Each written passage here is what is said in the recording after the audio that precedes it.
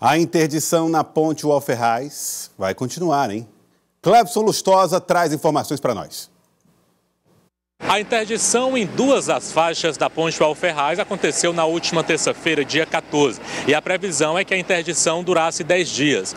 Nesse momento, funciona apenas uma faixa sentido centro-zona leste. Essa interdição se faz necessária por conta de um trabalho de reforço que está sendo feito aqui na proteção da faixa. Isso porque aqui embaixo da Ponte Alferraz passa a Via Sul e por conta da Via Sul, dado o reforço da parte interna que fica embaixo da ponte Alferraz, se fez necessária essa interdição para que os homens pudessem trabalhar. Essa interdição, como eu falei, ela era para ser liberada hoje, quarta, sexta-feira, dia 24 de janeiro. Mas aconteceu um imprevisto, vai ser preciso prorrogar essa interdição. Aqui ao meu lado eu estou com o superintendente da SDU Sul, o superintendente Paulo Lopes. Superintendente, explica pra gente o que foi que aconteceu que a liberação da faixa ela não acontece hoje. Boa tarde. Como você muito bem falou, no dia 14 nós fizemos a, a interdição de duas faixas do sentido centro, zona leste, sudeste, deixando uma faixa livre. A ponte nova, que é a que vem da zona leste, sudeste, no sentido contrário, do centro, ela está 100% liberada.